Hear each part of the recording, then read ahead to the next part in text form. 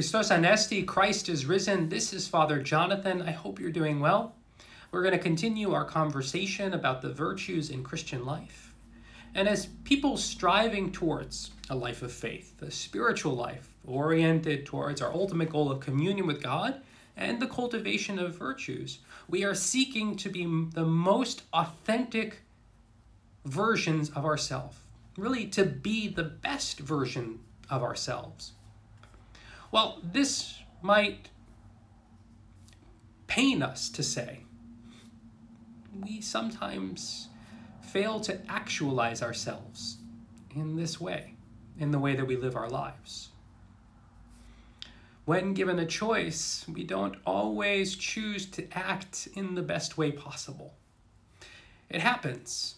As I said the other day, we need to be gentle with ourselves around this there's a lot going on. Life is not always easy.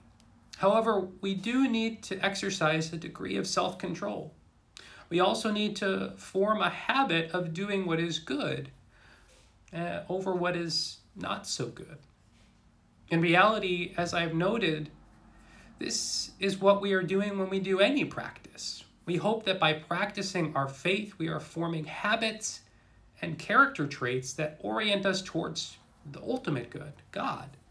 When we strive for the good, when we seek to cultivate the virtue of goodness, let's say, we are seeking to embody God's own goodness.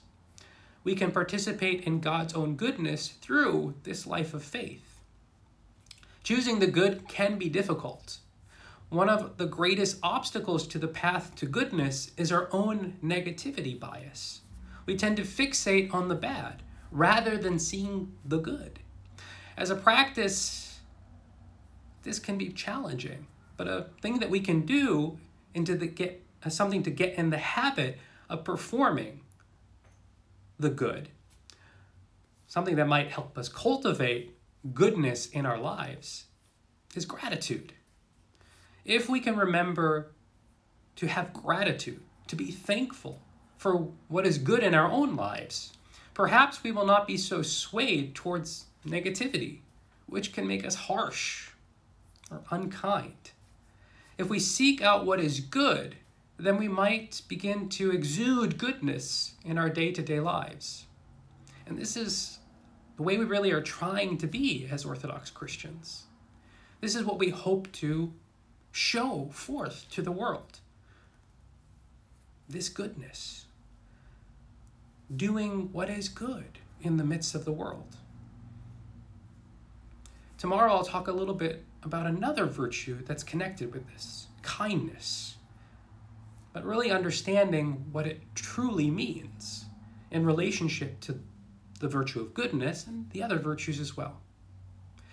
Anyways, God bless you. We're here for you. Don't hesitate to reach out, email us, call us, send us a message on on our uh, social media accounts. We are here for you. We love you. God bless. Christos Anesti, Christ is risen.